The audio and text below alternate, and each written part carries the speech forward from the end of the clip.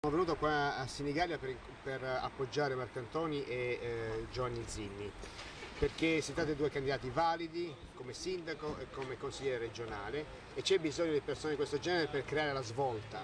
Noi dopo 30 anni siamo riusciti a cambiare le cose a Roma, bisogna che adesso cambino anche nelle Marche, ma per fare questo ci vogliono liste valide, un'importante candidatura come Presidente del Consiglio regionale e soprattutto le persone che possono rappresentare il territorio, ecco perché bisogna essere vicini a Zini e a Marcantonio.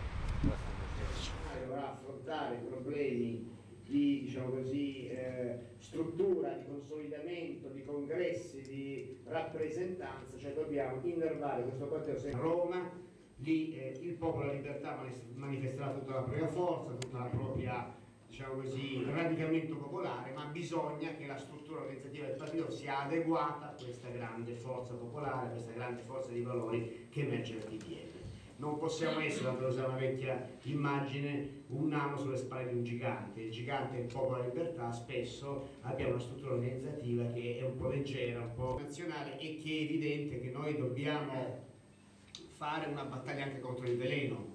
perché eh, al di là di tutto quello che sta avvenendo ormai da tanti mesi in Italia è un'ondata di veleno che sta inquinando il dibattito politico, lo sto portando veramente in basso, è una eh, ondate di, di veleno fatto di inchieste improbabili, giornali avere un segnale forte per il centrodestra, per il governo Berlusconi, noi possiamo entrare in una fase finalmente di tre anni senza elezioni eh, tra, tra, i piedi, tra, i piedi, e tre anni che possono essere i tre anni in cui il governo fa la grande opera di riforma su cui si è avanti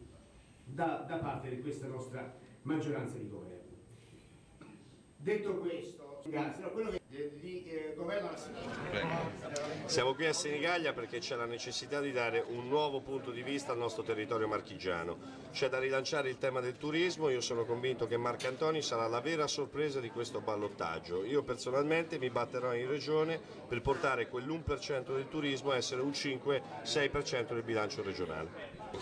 Beh, ringrazio assolutamente l'onorevole Emanuele, sindaco di Roma, che ha voluto portare una testimonianza a mio favore in questa, in questa città. Io credo che il lavoro che sta facendo Alemanno a Roma, che sta veramente riaprendo Roma ai cittadini, riaprendo Roma alla comunità nazionale e internazionale, credo che sia veramente un grande auspicio anche per la nostra città, che ha veramente bisogno di, andare, di uscire fuori dalle secche in cui è stata tenuta fino adesso e che ha bisogno proprio di rilanciarsi sul mercato regionale, nazionale e internazionale per riaffermare questa sua grande storia, questa sua grande vitalità e questa sua grande speranza del futuro.